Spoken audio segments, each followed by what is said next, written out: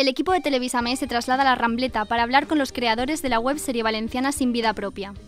Sin Vida Propia es una web serie cómica sobre un grupo de jóvenes que están a punto de cumplir los 30 años y no saben qué hacer con su vida, una parodia de la crisis española que trasciende al panorama internacional, donde han sido seleccionados como la mejor comedia de habla no inglesa por la Webfest de Los Ángeles.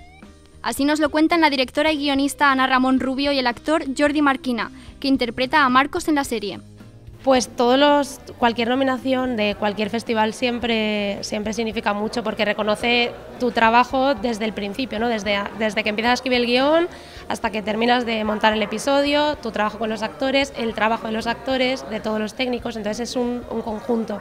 Entonces son, son las nominaciones a Mejor Serie pues son las que engloban a todo el equipo, ¿no? Y entonces para nosotros son las mejores porque nos hacen muchísima ilusión y hacen que se valore un poco nuestro, nuestro trabajo. Pues yo creo que es un ejemplo de que la gente con ganas y con trabajo y esfuerzo puede, puede hacer cosas bonitas, aunque no tenga a lo mejor un presupuesto como el que tienen en otras producciones, pero creo que es esperanzador ¿no? que, que se puedan sacar adelante pues, este tipo de proyectos. Hay ahora mismo, creo en España, 200 webseries o algo así, entonces es como un halo de luz ¿no? dentro de, toda esta crisis que, que, las hay mejores, las hay peores, ¿no? como en todas partes, pero es gente que por lo menos en vez de quedarse en el sofá de su casa, pues decide eh, hacer un producto y distribuirlo por su cuenta, ¿no? que, que es muy positivo para la industria.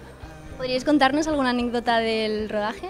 A eso que lo cuente Jordi. Madre mía, o sea, hay hay muchas cosas que pasaron en el rodaje, desde los momentos de la discoteca que fueron muy divertidos, que además eran muy curiosos porque tenías que bailar sin música y era muy, muy divertido, hasta el paso, bueno, el paso de Darío Paso por la serie, que, en la que improvisamos mucho sobre el guion y trabajamos y nos lo pasamos muy bien y no sé, que anécdotas cada día era una anécdota nueva, diferente. Un rodaje está lleno de, de cosa viva y que nunca es igual, ¿no?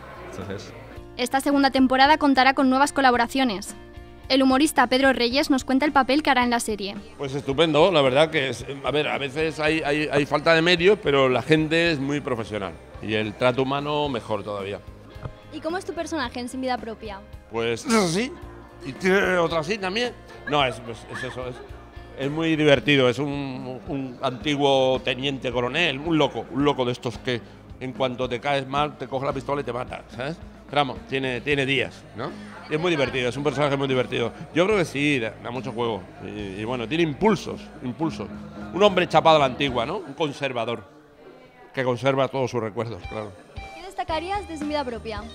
Yo creo que el ritmo, ¿no? Es una serie con mucho ritmo, muy joven, muy fresca, ¿no? Hoy en día hay que saber hacer eso y hay que saber mover la cámara para que para imprimir esa, esa tensión y ese ritmo y eso es importante. Lo que está claro es que todavía hay personas que luchan por alcanzar sus metas. En momentos de crisis toca innovar con nuevas herramientas. Solo pienso en ti. ¿Eh? Dime.